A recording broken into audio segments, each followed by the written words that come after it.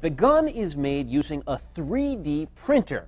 If you want to know what that is, instead of ink, the device basically heats up plastic that looks almost like fishing line and then squirts the plastic sort of like an inkjet printer.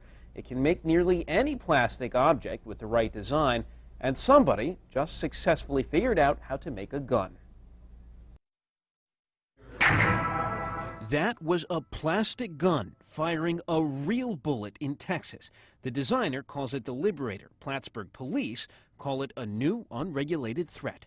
For it to be capable of readily firing a shot is very concerning. It's not detectable by any means. The metal, the metal detectors are circumvented.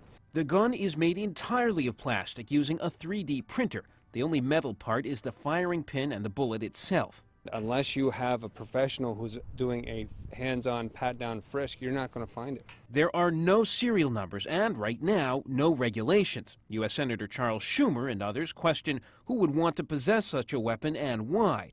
Schumer and others want to outlaw the manufacturing of weapons using 3D printers. We're facing a situation where any felon, a terrorist, can open a gun factory in their garage and the weapons they make will be undetectable. It's stomach churning. The gun's developer posted the design online, so anyone with access to a 3D printer can reproduce the gun. Police say no doubt this will make their job harder. You now have an additional threat you didn't have before. So that's one thing we'd have to train our people to think a little bit differently and be more diligent.